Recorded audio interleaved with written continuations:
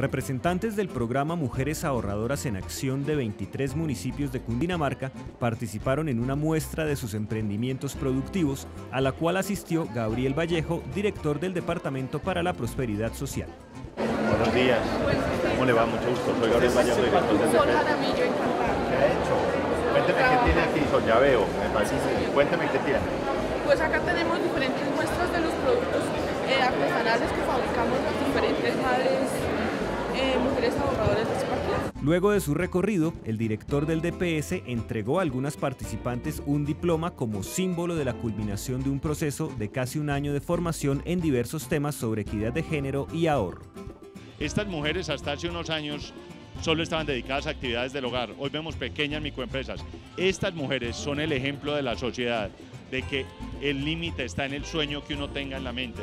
Soy una mujer emprendedora, echada para adelante y porque he podido, debido a lo que nos han enseñado, poder tener nuestros ahorros y poder apoyar más para la empresa y poder ayudar más para nuestros hogares.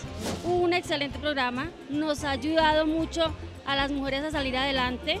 Hemos perdido los miedos que tenemos a, a- a ser empresarias y muchas mujeres de aquí en adelante vamos a tener nuestro propio negocio gracias al programa.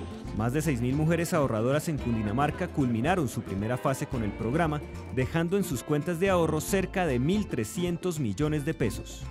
Diego Luis Martínez, País Posible.